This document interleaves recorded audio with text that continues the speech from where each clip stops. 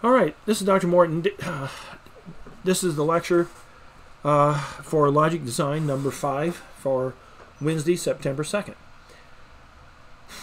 Okay, we're going to pick up where we left off last week. Let me first just uh, touch on the syllabus. I'm going to shrink this down here briefly, and then we'll we'll look at the syllabus. So we have here. Uh, maybe I'll move it over here a little bit. So we have here um, the week, and this is September 2nd. Continue to uh, review Unit 2. Uh, you can look at the PowerPoint slides number 2 on Blackboard. Uh, you can, um,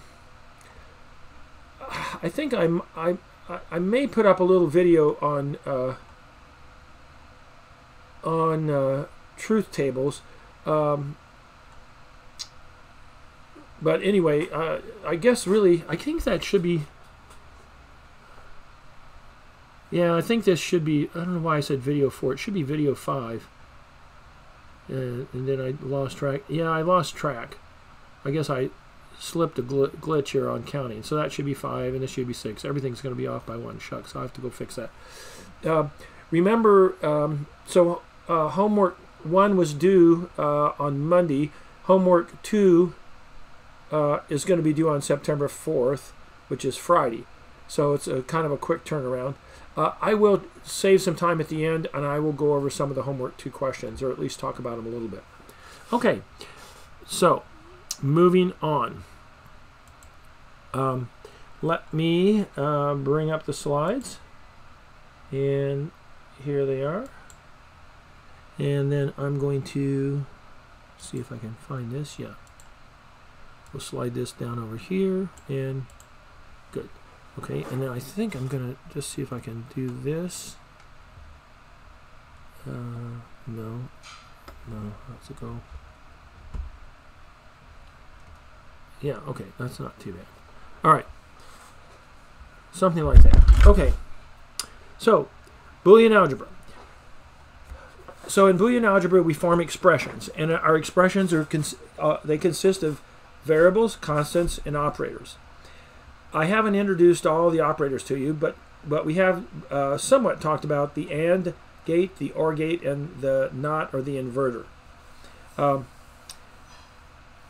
constants are just 0 and 1, and we don't use those very much really, uh, but we do use uh, we do use variables, and typically our variables are A, B, C, D, or W, X, Y, Z.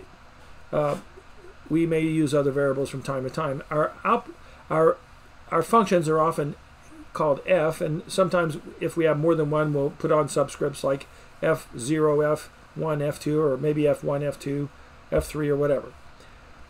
Uh, we can have complicated expressions just by uh, adding additional uh, terms to the expression. We do have an order of precedence, and that is uh, the nots are evaluated first, then our ands, and then our ors. Um, and uh, you do have to use parentheses when you do inversions because you invert the operators and it changes the order precedence, and so you have to be careful with parentheses, and we'll talk about that when we get to it. Uh, the nice thing, or the the powerful thing, and the reason this is something we use a lot, is because every single one of these expressions corresponds to hardware directly. Uh, all right, so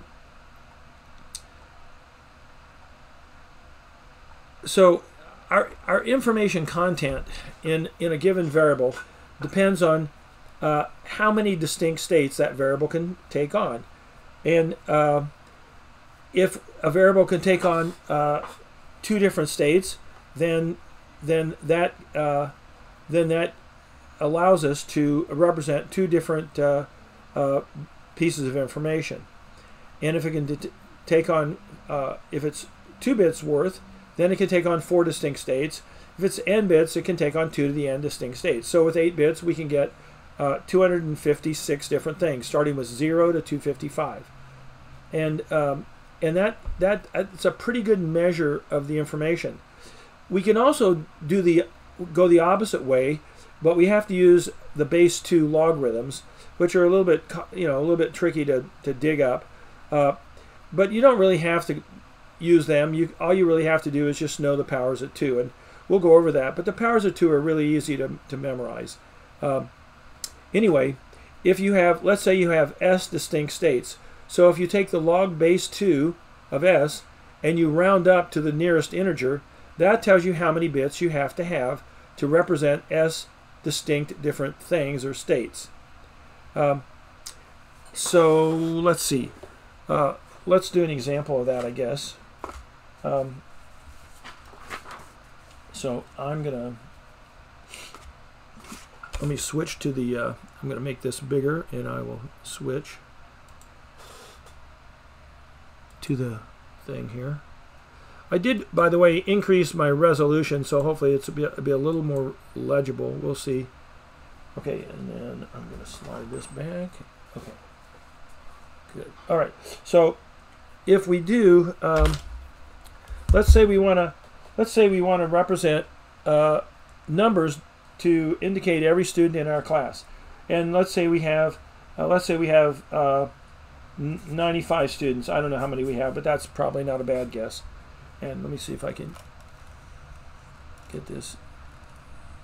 That's a little bit better.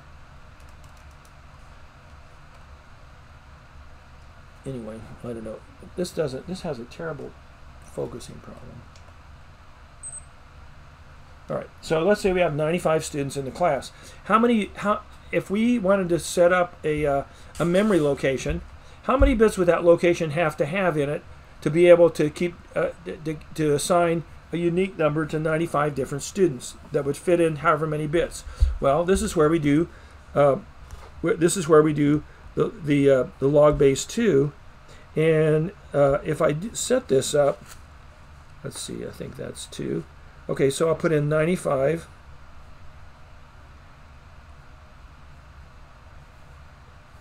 and it turns out that the log log base 2 base 2 of 95 equals 6.6.57. We round up, so that gives us 7 bits. Now if we do 2 to the 7th, what we should find is that uh, that should be 128.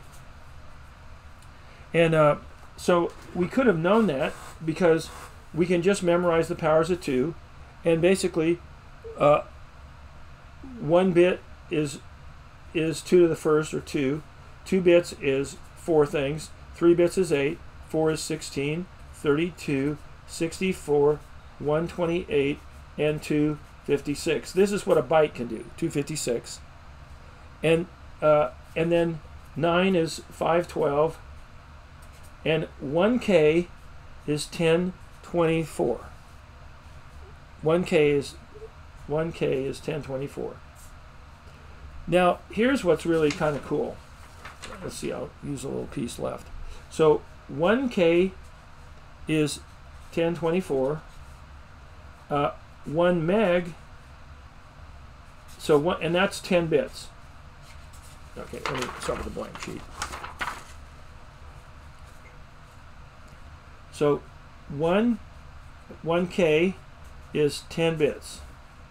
1 meg is 20. One, um, one, uh, so one gigabyte is 30. One uh, terabyte is 40.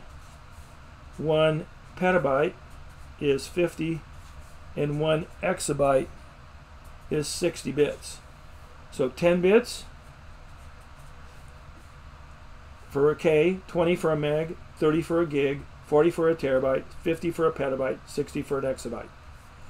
So if I told you that we wanted to uh, keep track of 4 billion things, so that's 4 gigabytes. So you already know you need you need for a gigabyte you need 30 bits and for 4 gigabytes you need two more bits. So that's 32. Because remember, uh, 1 bit equals 2. So 2 gigabytes would be 31. Uh, 2 bits is 4. 3 bits is 8. We just went through this. 4 is 16. 5 is 32, 6 is 64, 7 is 128, 8 is 256, and 9 is uh, 512. And 10, we're back to, we're up to the next uh, um, order of magnitude. Actually, three orders of magnitude. Okay? So, uh, so all you do, all you have to do is remember 2, 4, 8, 16, 32, 64, 128, 256, 512. And that 1K is 10, 1 meg is 20, 1 gig is 30, 1 terabyte is 40, 1 petabyte is 50, and 1 exabyte is 60.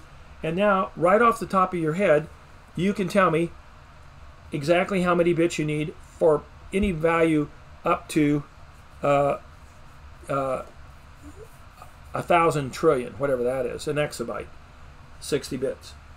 So that's a pretty big number. Probably don't need to go there.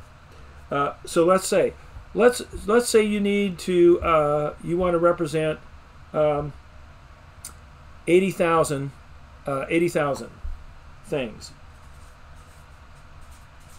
So what do you need that's going to do that?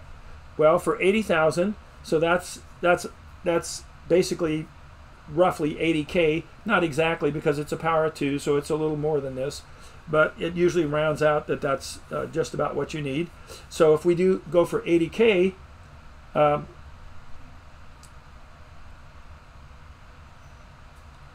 so 80K, 80K is going to be somewhere between 64 and 128K.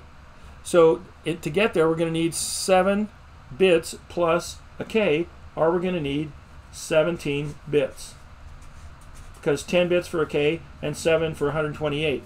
So we will be able to represent 128,000 things instead of 80,000. But if you went with 6 bits, you'd only be able to represent 64,000. So it, it would be a little short. So to get the 80, you're going to have to go all the way up to 128. Easy. And so right off the top of your head, you know that's 17 bits. All right? So you should just remember all this. It's pretty straightforward. Okay. And that gives you that tells you a lot about the information content. Okay, let me switch the camera and we will press on with the march here. Okay. Yes. Uh, oh, okay.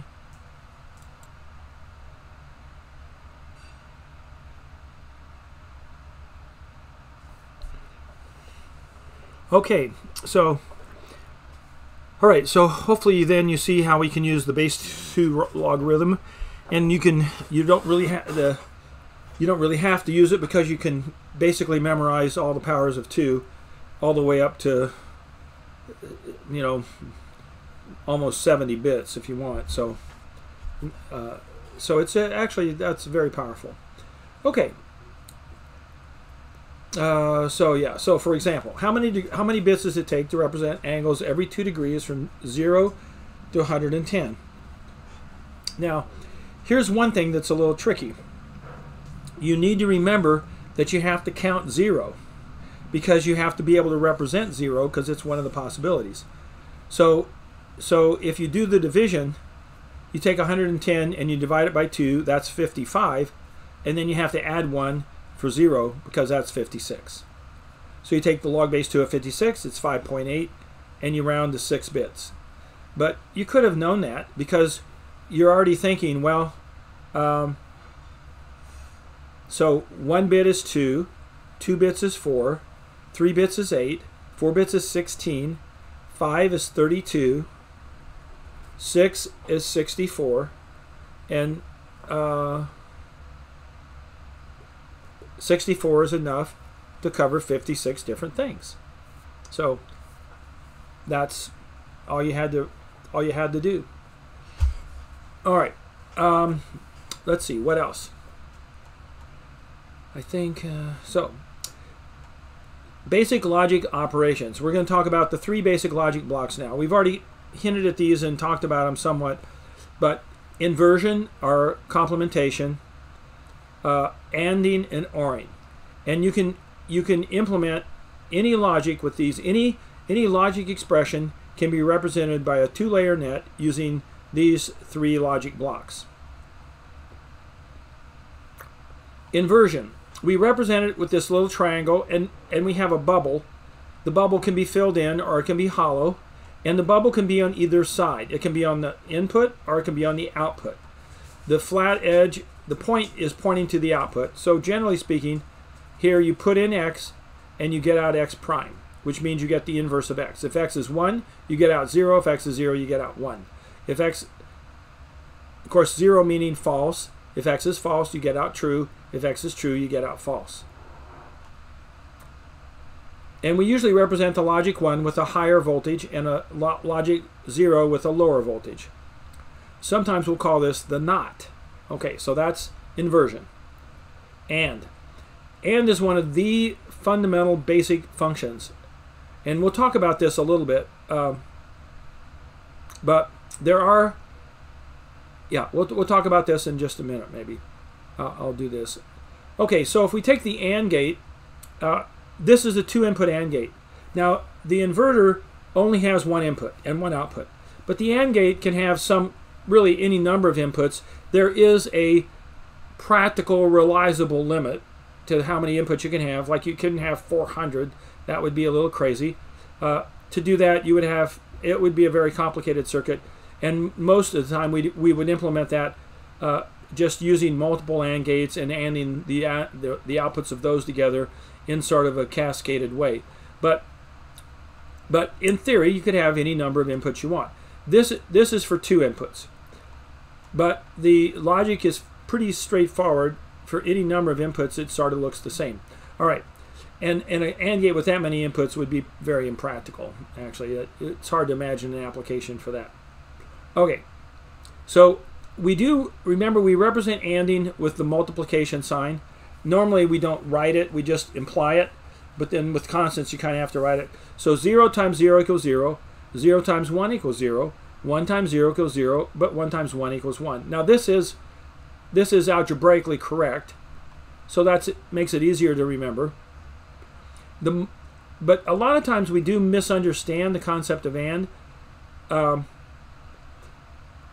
but in, in the way we will use it in this course and the way it is understood throughout the whole discipline of logic design is that you're, you're, you must A and B must both be true for F to be true. And if you have ABC, ABC must all be true for F to be true. And if any one of those is false, F would be false, even if the others are true. This is not how it's always used. For instance, sometimes if you do a internet search, and you type in, uh, you know, parenting and two-year-olds, you'll get all the articles that mention parenting.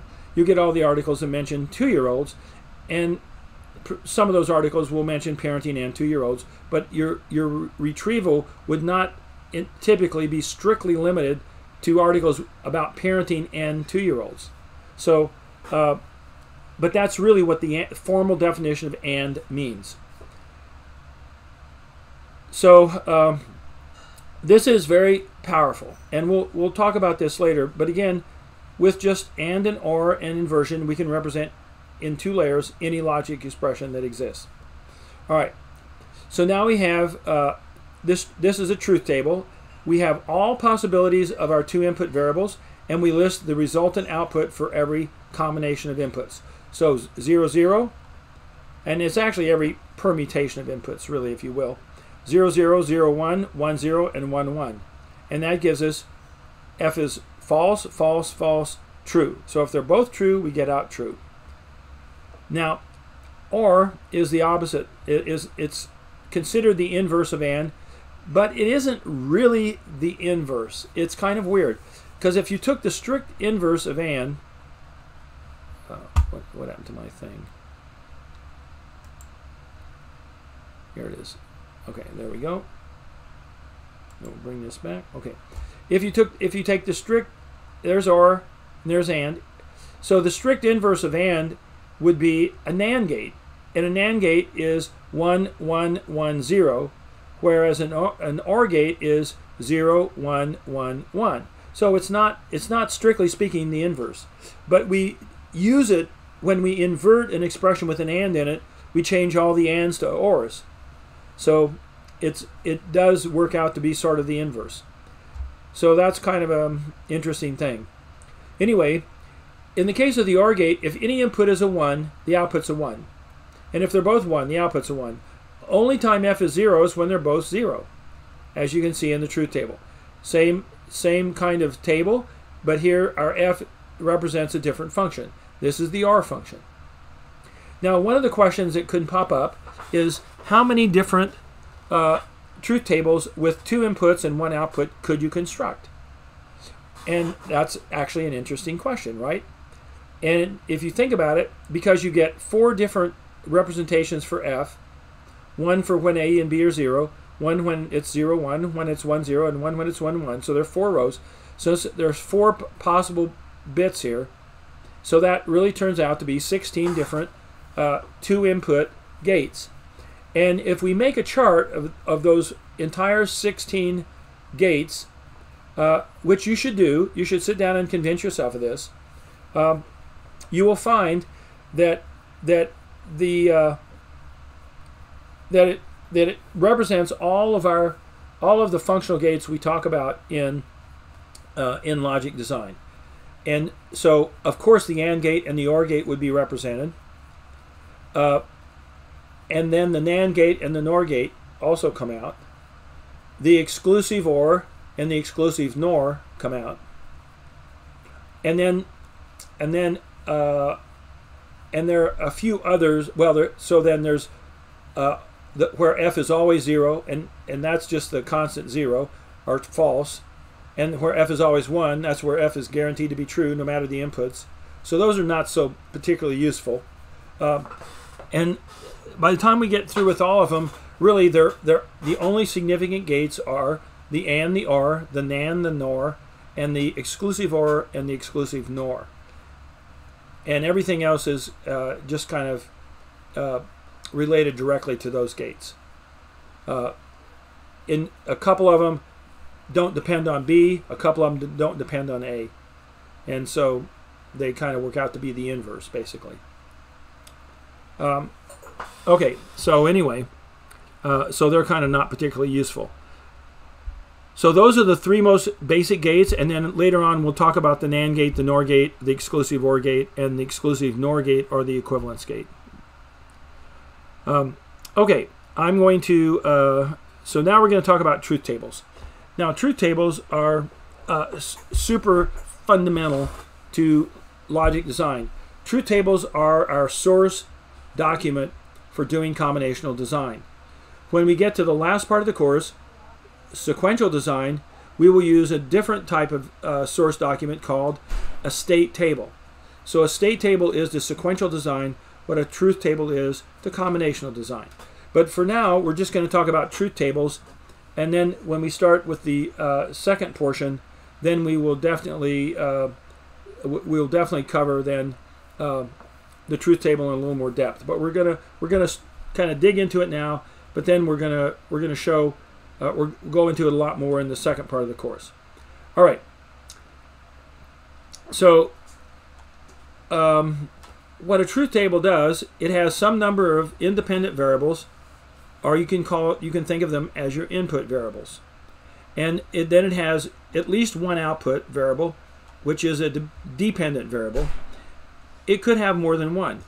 For every additional input variable or independent variable, you double the number of rows in the truth table.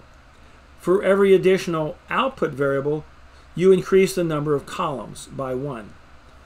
But the truth table can get quite large if you have a lot of input variables. So uh, usually we try and avoid getting truth tables that are that big. We try and break our problem down to smaller pieces if we can. Okay, and what the truth table does, it tells you for every possible combination of, of the inputs, what the desired output is for the single output variable if you just have one, or for each output variable if you have multiple. Now, when we and when we do our design, we're going to basically take what the customer is asking for and turn it into a truth table. And so what it really represents then is our customer's desire, our customer's demands, if you were, customer's order. And because of this, uh, I, well, because students often ask, how do we get the truth table?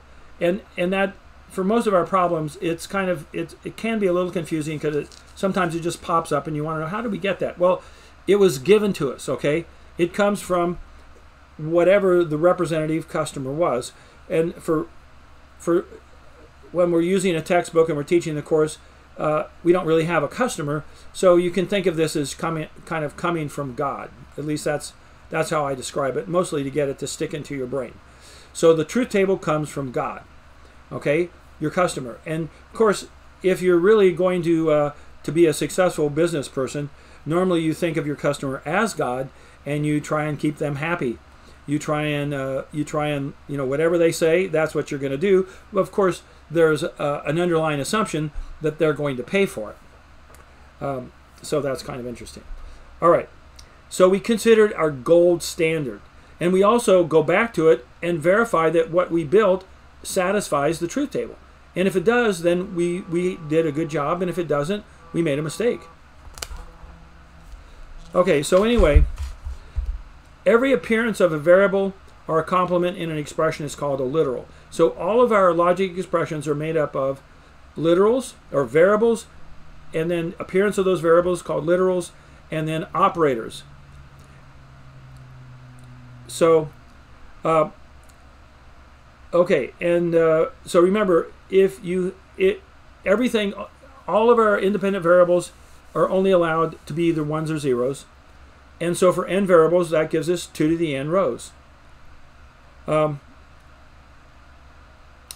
sometimes we'll add some additional columns and even break our our uh, uh, we'll have uh, if we have a complicated expression that we're representing, we might even uh, we might even uh, break it down into, into sub expressions and use a different column for those when we're trying to prove that uh, a logic expression is true. And we often can prove it by showing from a truth table that for all possible values of the variables that the two sides are equal. And we can use a truth table to do that. All right, so let's talk about this. So how many variables and literals are in the following expression and how many terms? So first off, if you look at it, how many variables? Well, you have a variable A, you have a variable B, and a variable C. So the three variables. How many literals? Okay, remember a literal is every appearance of a variable. So A appears here and here and here and here. Here it's inverted, there it's inverted, here it's not. B appears in every one of these, inverted, not inverted, not inverted, inverted. And so does, uh, and C appears in all but one not inverted, inverted, and inverted. So if you count them up, you have 1, 2, 3, 4, 5, 6, 7, 8, 9, 10 appearances of our variables are 10 literals. How many terms? Okay, so this is kind of interesting. So first off, what do we have represented by our plus signs? The plus function we, we equivalent we, we equate to the OR function, right? And then notice we have implied multiplication here. We didn't use the sign. So this is A multiplied by B prime multiplied by C. But of course, we're not really talking about multiplication. We're really talking about ANDing. So this represents an AND gate with A, B prime, and C going into it. And the primes represent our inversions. So if you really wanted to be picky, you'd say this is B going into an inverter and the output of the inverter going into the AND gate along with A and C. Here, A goes through the inverter and then into the gate, and B just goes in. Here, A and C get inverted, and B doesn't. And here, B and C both are inverted going into the AND gate.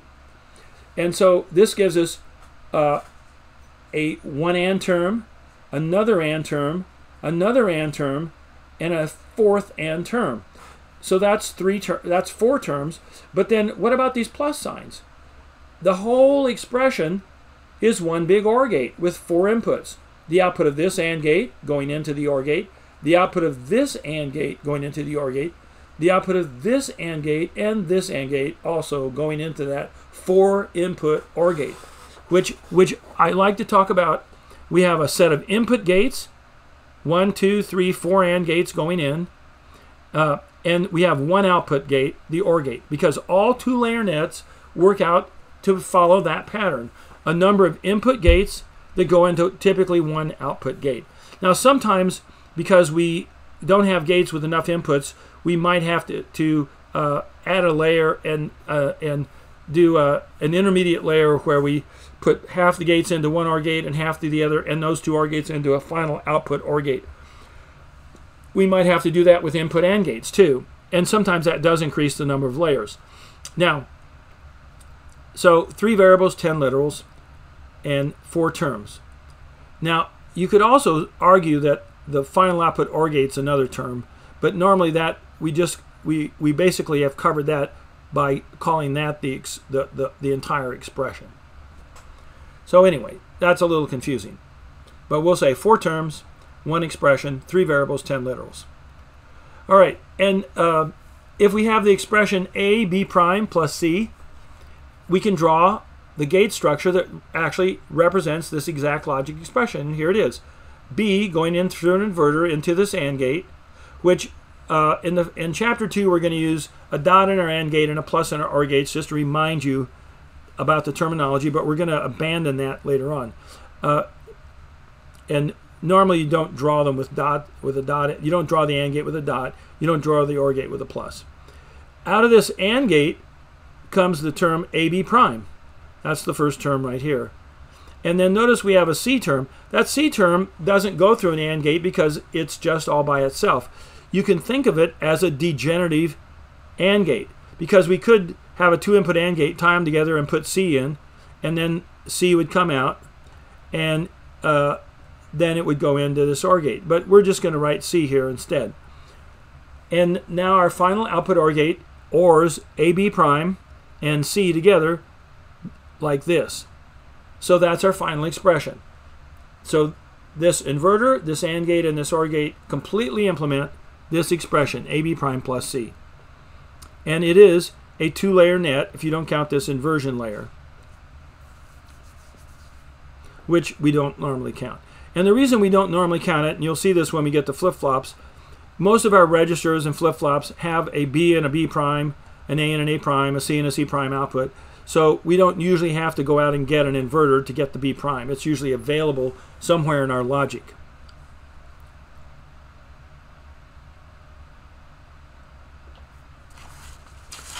Okay. Um,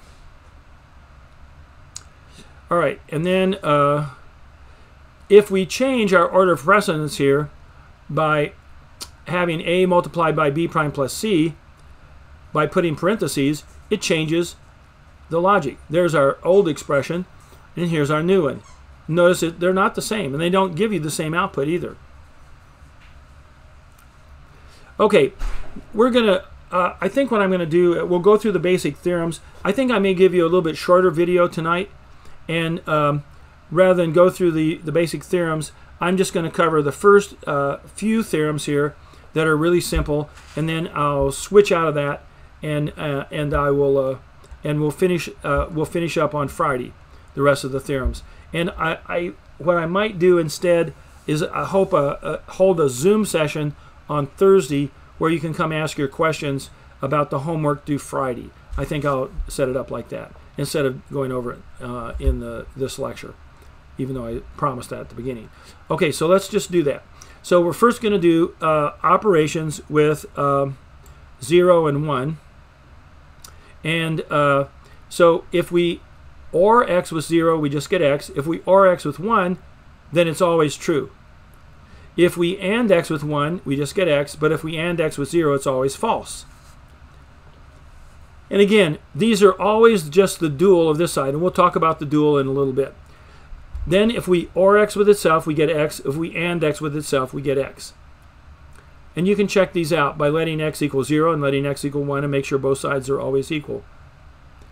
Okay, if we inverse, if we take the inverse of the inverse, we just get back to the original.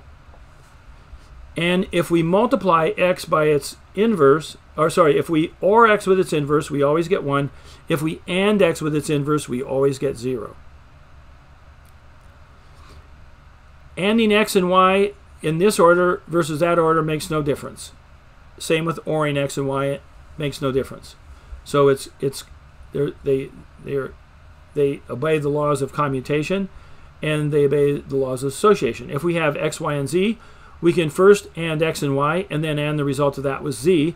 And it's the same as x ANDed with y and z ANDed together. And it's the same as x, y, and z going into a three input AND gate. Now, let me just say that this is definitely true of AND gates and OR gates. Uh, and I guess I should have done it with OR gates over here. But this is not true of NAND gates and NOR gates. All right, the first distributive law. This is, you can take x and distribute it against y and z, and you get xy plus xz. This is just normal algebra. Totally legal in normal algebra. You, you also know here you can factor the x out, and you get x times y plus z. All right. But uh, here is the second distributive law, which is not something you is legal in, in normal algebra. It's totally illegal, but you can do it in switching algebra, and it really helps us a lot. And this is called the second distributive law. x plus yz equals x plus y quantity times x plus z quantity. Now, let me just say that uh, sometimes students will want to factor the x out of this and get x times uh, y plus z, and that's just completely wrong. That's I, that's terrible. That doesn't uh, work at all. But you can do x plus yz. That is correct because of the second distributive law. All right, and then I'm, I'll cover these three simplification theorems, and then we're going to quit. So the first simplification theorem is xy plus xy prime equals x, x plus xy equals x, x plus y prime times y equals xy. Now the reason for that, if you multiply, distribute y in here, you get xy plus y prime y. Well, we know y prime y is always 0, so that goes away, so you just get xy. Uh, here, the, the y doesn't add anything because uh, if x is 0, you will, you will get a 0 out of this regardless of the value of y because 0 ANDed with y will always be 0 no matter what y is. And, uh, and if x is 1, this term doesn't isn't meaningful because you already have a 1 here, so this won't add anything. So, uh, so that basically proves that. And these are just the duals. And then this one, uh, this we combine terms here, so we have an xy and an xy prime. This this basically is the same as x, and it's a little confusing. But regardless of y, if y is zero, then this term will go to zero, but this term the y the y prime will be one, so it's just x. And if y is one, then this term goes to zero, and this term would just be x times one, or ANDed with one, which is just x. So that's why this these you can combine these. And obviously you could have wxy and wxy prime, and you could combine them to wx. Uh, all right, I'm going to quit with that, and um, then we will we will pick up uh, uh, on Friday with uh, the rest of this chapter, and I'll I will uh, do a live Zoom session on Thursday where I'll help you with the homework. I do think the uh, the TA should be kicking in this week and doing some live Zoom evening sessions too. So hopefully that'll all work. I'll do mine during the day on Thursday. All right. We will uh, see you later.